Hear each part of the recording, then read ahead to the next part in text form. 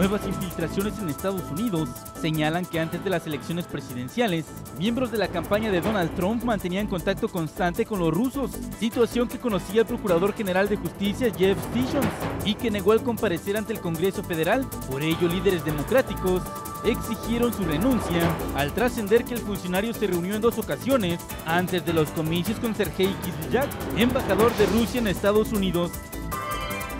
Las redadas de inmigrantes indocumentados detenciones indiscriminadas y las deportaciones están desatadas en Estados Unidos, luego de que una orden de Donald Trump prácticamente convirtiera a cualquier uniformado en un agente migratorio. Las detenciones se realizan en cualquier lugar e inclusive los agentes arrestan en sus propios hogares a inmigrantes con algún antecedente delictivo por menor que sea.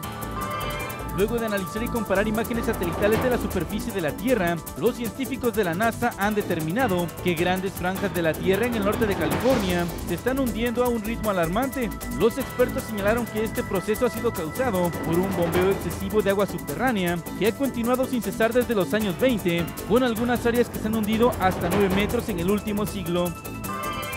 El Parlamento Europeo inició este jueves una investigación contra el diputado polaco Janusz Korwin-Mikke para establecer si debe ser sancionado por sus declaraciones misóginas en el pleno de la Eurocámara, donde este miércoles en una discusión sobre la brecha salarial entre hombres y mujeres, dijo que las femeninas deben ganar menos que los hombres porque son menos inteligentes.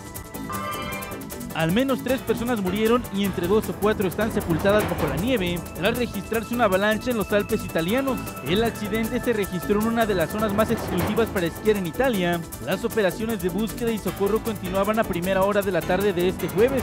Una hora después de la primera avalancha, otro deslave se registró y sepultó a dos esquiadores que pudieron ser rescatados sanos y salvos.